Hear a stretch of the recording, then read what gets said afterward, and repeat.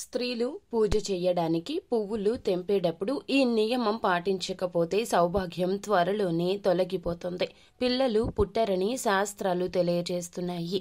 మరి స్త్రీలు చెట్టు నుండి పువ్వులు తెంపేటప్పుడు ఎలాంటి పొరపాట్లు చేయకూడదో ఎలాంటి నియమాలు పాటించాలో? ఈ విషయాలు ఈ వీడియోలో మనం ఈ వీడియోలో తెలుసుకునే ప్రయత్నం చేద్దాము. ముందు ఒక చిన్న కథను విందాము. ఒకసారి సీతారాములు ఉదయమంతా పూజలతో అలసిపోయి వెన్నెలలో నదీ తీరాన సేదదీరుతూ ఉన్నారు. అప్పుడు రాముల వారు సీతమ్మతో నీకు ఇప్పుడు ఒక మంచి కానుక ఇస్తాను అని చెప్పి బాగా వడలిపోయి వంకరగా ఉన్న ఒక చిన్న బంతి పువ్వును సీతమ్మ వారికి ఇచ్చారు. ఈ పువ్వు రాముల వారికి ఇంత ప్రత్యేకంగా ఎందుకు అనిపించిందో అని ఆశ్చర్యంగా చూసింది సీతమ్మ. తల్లి. సీతాదేవి చూపును అర్థం చేసుకున్నటువంటి రాములవారు సీతతో ఆ పువ్వు గురించి ఈ విధంగా చెప్పారు. గుడికి పంపవలసిన పువ్వులు వేకువజామున చీకటితో కొయ్యడం ద్వారా పువ్వులు పంపేవారు. పొరపాటున వంకరగా పూసిన బంతి పువ్వును కూడా మిగతా పువ్వులతో కలిపి గుడికి పంపేశారు. ఆ పువ్వుల మాలను దేవునికి పూజ చేసేటప్పుడు ఈ పువ్వు వాటి నుండి విడిపోవడం ద్వారా ద్వారం దగ్గర పడిపోయింది. రాముడిని చేరుకోబోతున్నాను అనే సంతోషంతో అక్కడికి చేరుకున్న ఆ పువ్వు మనసు చాలా బాధపడింది. రోజంతా భక్తుల హడావిడిలో ఈ పువ్వు బాగా నలిగిపోయాక ఎవరో ఒక ఆయన చూసి ఈ పువ్వును పూజారి గారికి ఇచ్చి ఈ పువ్వు పాపం ఇక్కడ పడిపోయింది. దేవుని దగ్గర పెట్టేయమని కోరితే పూజారి గారు దేవుని పాదాల వద్ద వేశారు. ఆ తరువాత నీరసంతో బాగా వాడిపోయిన ఆ పువ్వు ఆ చిన్ని బంతి పువ్వును రామయ్య తండ్రి ప్రేమగా చేతిలోకి తీసుకుని ఏమి కావాలో కోరుకోమంటే ఆ బంతి పువ్వు తన కోసం ఏమీ వద్దని చెప్పి ద్వారం దగ్గర పడి నలిగిపోయిన తనను పూజారి గారికి ఇచ్చి రాముల వారి పాదాల దగ్గరికి చేరడానికి కారణమైన ఆ భక్తుణ్ణి చల్లగా చూడమని కోరుకుందట ఆ బంతి పువ్వు. అలా నిస్వార్థంగా తనకు సహాయం చేసిన వారి పట్ల కృతజ్ఞ కృతజ్ఞత ప్రదర్శించిన ఆ పువ్వు రామయ్య తండ్రికి ప్రీతిపాత్రమైనదిగా మారిపోయిందని రాముడు సీతాదేవికి జరిగినది అంతా కూడాను వివరించి చెప్పాడు. ఇదంతా విన్న సీతమ్మ తల్లి ఆ పువ్వును ఆప్యాయంగా తడిమి చూసుకుని జడలో పెట్టుకుంది సీతమ్మ తల్లి. ఇక మనం వీడియోలోకి వచ్చేద్దాము. పూజ చెయ్యాలి అంటే ముందు పువ్వులకు ప్రాధాన్యత ఇస్తూ ఉంటాము. దేవుని వద్ద అత్యంత ప్రీతికరమైనవి పువ్వులు.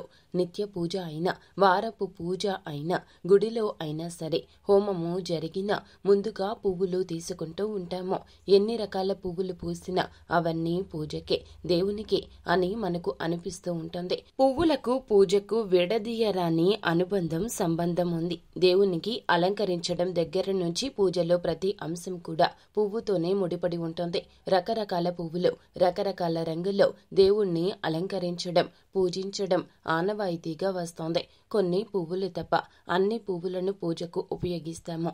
అయితే పువ్వులు కోసేటప్పుడు దేవుని పూజకు ఉపయోగించే పువ్వులు ఎలా పడితే అలా కొయ్యకూడదని శాస్త్రమే చెప్తూ ఉంది. పువ్వులు కోసే ముందు ఈ పువ్వులు భగవంతుని కోసం అని మనసులో ప్రార్థించి చెట్టుకు నమస్కరించి కొయ్యాలి. పువ్వులను కర్రతో దులపనే కూడదు చేతితోనే కొయ్యవలసి ఉంటుంది. తడి బట్టలతో కోసినటువంటి పువ్వులను భగవంతుడు స్వీకరించడని శాస్త్రాల్లో చెప్పబడింది. అంతేకాదు పువ్వులకు ఉపయోగించే పువ్వులను తడపకూడదు కూడాను. ఈ నియమాల్లో దేని ఎన్ని తవ్వినా కూడాను పూజలో సమర్పించే పువ్వుల వలన ఎలాంటి ఫలితం అనేది ఉండదు. పూజలకు ఉపయోగించే పువ్వులు చాలా పరమ పవిత్రంగా ఉండాల్సి ఉంటుంది. వాడిపోయినవి ముళ్ళతో ఉన్నవి అపరిశుభ్రమైనవి దుర్వాసనతో ఉన్నటువంటి పువ్వులను అస్సలు ఉపయోగించనే కూడదు దేవతలకు దేవుళ్ళకు ఇష్టమైనటువంటి పువ్వులతో పూజలు చేస్తే కోరిన కోర్కెలు నెరవేరతాయని శాస్త్రమే తెలియజేస్తూ ఉంది కలువ పువ్వులంటే శ్రీ మహాలక్ష్మీదేవికి ఎంతో ప్రీతి. అలాగే తెల్లని పువ్వులంటే చదువుల తల్లి సరస్వతి దేవికి పసుపు రంగు పువ్వులంటే పార్వతీదేవికి ఇష్టము. కాబట్టి ఈ దేవతల పూజలకు ఈ రంగు పువ్వులను ఉపయోగించడం శ్రేయస్కరము. మహాశివుణ్ణి బిల్వ పత్రాలతో పూజించుకోవాలి. శ్రీచక్రాన్ని విష్ణువుని పారిజాత పుష్పాలతో పూజ చేసుకోవాలి. తామర కలువ జాజి చామంతి నందివర్ధనం మందారము నీలాంబరాలు కనకాంబరాలు పారిజాతము పద్మాలు ఎర్ర గన్నేరు నిత్య మల్లె పువ్వులు దేవుని పూజకు చాలా శ్రేయస్కరము. పూజ సమయంలో ముందు రోజు సమర్పించినటువంటి పువ్వులను బొటన వేలు చూపుడు వేలుతో తీసేయాలి. తాజా పువ్వులను బొటన వేలు మధ్య వేలు ఉంగరం వేలుతో భగవంతునికి సమర్పిస్తే మంచిది. పూజకు పువ్వులు వాడడము పూర్వం నుంచి కూడాను ఆచారంగా వస్తుంది. భక్తితో పరమ పవిత్రమైన మనస్సుతో ఎవరైతే పూజతో కానీ పువ్వులతో కానీ పండుతో కానీ నీటితో కానీ దేవునికి పూజ చేస్తారో వాళ్ళ భక్తి నైవేద్యాన్ని తృప్తిగా స్వీకరిస్తానని శ్రీకృష్ణుడు గీతలో వివరించడం జరిగింది. అందుకే పూజలకు పువ్వులను తప్పనిసరిగా ఉపయోగిస్తారు. యజ్ఞానికైనా హోమానికైనా నిత్య పూజకైనా సరే దేవుని పూజ అయినా సరే ముందుగా పువ్వుల గురించే ఆలోచిస్తూ ఉంటారు. పూజ చేయాలి అంటే ముందుగా పూజ గదిని శుభ్రం చేసుకుని దేవుడి పటాలను రకరకాల పువ్వులతో అలంకరిస్తాము. పూజ అనగానే పువ్వులకు దీపారాధనకు అంతగా ప్రాముఖ్యతను ఇస్తాము. పూజలో పువ్వులను ఉంచడము పువ్వులతో అలంకరించడము పురాతన కాలం నుంచి కూడాను మనకు ఆనవాయితీగా వస్తుంది. అయితే దేవుని పూజకు వాడే పువ్వులను ఎలా పడితే అలా కొయ్యరాదని అదేవిధముగా ఆ పువ్వుల యజమానికి తెలియకుండా తెంపరాదని పురాణాలు చెప్తున్నాయి. మనలో చాలామంది పూజా సమయం అయ్యేసరికి ఇంట్లో పువ్వులు లేకపోయినా బయట పక్కింటి వారి ఇంట్లోనో ఎదురింటి వారి ఇంట్లోనో ఆకర్షణీయంగా కనిపించిన పువ్వులను తెచ్చి పూజకు వినియోగిస్తూ ఉంటాము. అయితే ఈ విధముగా చేసేవారు. కొన్ని విషయాలు తప్పకుండా తెలుసుకోవాలి. ఒకవేళ మీరు బయట వారి ఇళ్ళల్లో పువ్వులు పూజ కోసం కొయ్యాలి అంటే తప్పనిసరిగా ఖచ్చితంగా ఆ పువ్వుల యజమాని అనుమతి తీసుకోవాలని గరుడ పురాణంలో చెప్పడం జరిగింది. గరుడ పురాణంలో చెప్పిన దాని ప్రకారం తాంబూలము కాని పండ్లు కాని పువ్వులను కాని దొంగతనము చేసేవారు వచ్చే జన్మలో అడవిలో కోతేలాగా. అదే విధముగా చెప్పులు పత్తి గడ్డి వంటివి దొంగిలించేవారు. మేకలాగా జన్మిస్తారని గరుడ పురాణంలోని అంతరార్థం.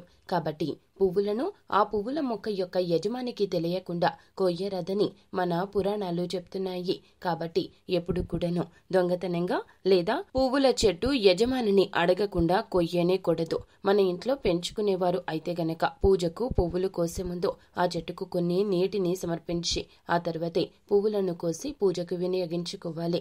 మరొక విషయం ఏమిటంటే ఏ చెట్టు నుండి పువ్వులు కోసినా కూడాను ఆ చెట్టుకు ఉన్నటువంటి అన్ని పువ్వులు కోసేయకూడదు. అలా చెట్టుకు.